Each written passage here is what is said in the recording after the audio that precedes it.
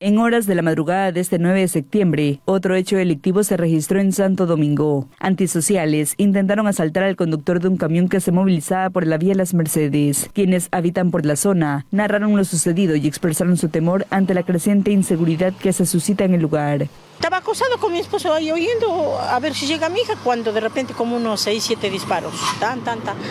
Y después de, pues llegó mi hija, o sea, ya llegó a esa hora, ya estaba mi hija ahí en la casa.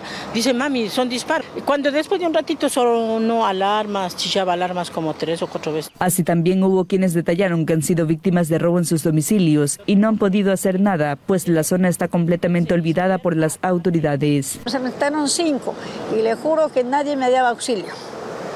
Póngase a pensar. Yo como no soy tan pendeja, yo que cargo mi machete, pero hasta la cacha. Yo sí le pensaba bajar a uno la cabeza. Ante esta situación, el gerente de la empresa pública mancomunada del trópico húmedo, Wander Berberastegui, manifestó que desde hace varias semanas han gestionado con el Consejo de Seguridad Ciudadana la intervención al respecto, pues por reiteradas ocasiones han sido víctimas de atracos y de persecución a colaboradores de la institución. Según indicó, no hay patrullaje policial en la zona y esto ha provocado el incremento de los hechos delictivos en el lugar. Y justamente en este tramo, desde el puente del eh, río Toachi hacia el bypass de la vía Quindé hacia Quito, justamente al salir al bypass, en ese tramo es justamente donde se están produciendo estos acontecimientos. Por ser más claro, casi en las bodegas de Cenel, en esa curvita que hay.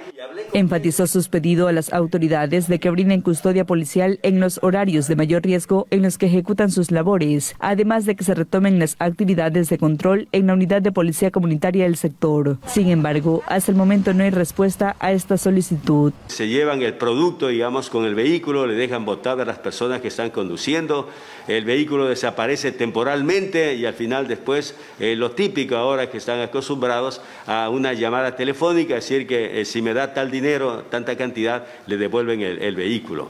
Entonces, de esa manera están operando. La población se mantiene atemorizada por la creciente inseguridad que diariamente provoca considerables pérdidas económicas, además de víctimas mortales en el país.